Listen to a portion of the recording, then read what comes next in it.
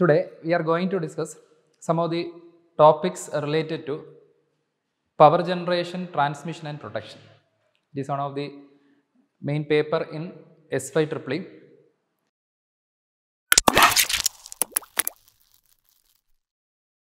Good afternoon. Our next topic is types of insulators. Before going to this topic, you should know the importance of insulator in an overhead line. You all know that overhead line is connected by means of some supports.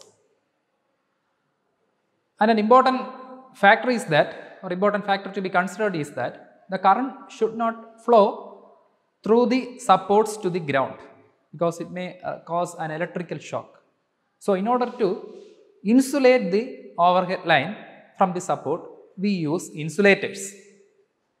There lies the importance of insulators. So, mainly in the university examination, they ask the different types of insulators. What are the important types of insulators? First one is pin insulator.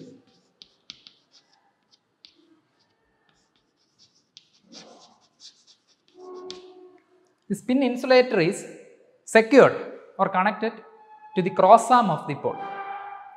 Mainly in the case of pin insulator, it, it is designed for a voltage rating up to 33 kilowatt, 33 kilovolt and above 33 kilovolt this pin type insulator does not used. Then second one is suspension insulator.